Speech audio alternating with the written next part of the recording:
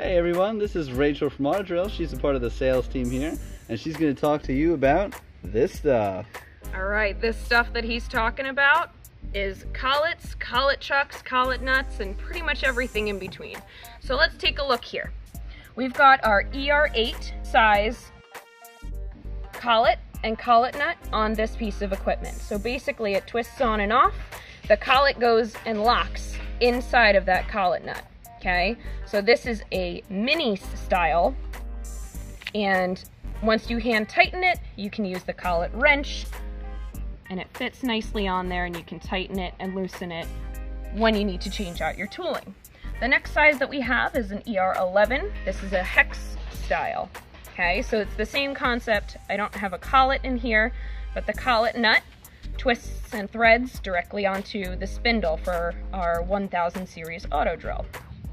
This is a hex style that is up to a 7 millimeter tool shank. The next thing that I have here is a bit of a size jump. So this is an ER32. In between these two sizes, we have ER16, ER20, and ER25. The ER32 is up to a 20 millimeter tool shank capacity. Okay, so what you do is you twist off this collet nut, okay, and you can see there's a groove on the inside, just on the lip. And you take one of your collets and the collet also has a groove. You clip that directly into your collet nut and it locks into place. And once it locks into place, you can thread it back onto your collet chuck.